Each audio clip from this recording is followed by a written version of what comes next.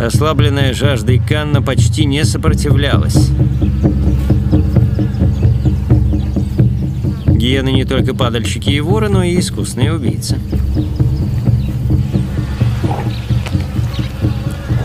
В основном гиена питается животными, которых убивает сама. Сегодня она вышла на охоту.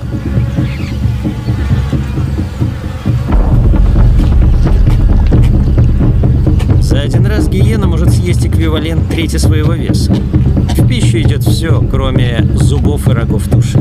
Теперь самка и щенята могут несколько дней не думать о пище.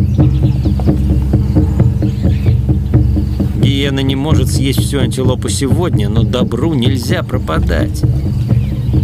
Опытная мать знает одну хитрость.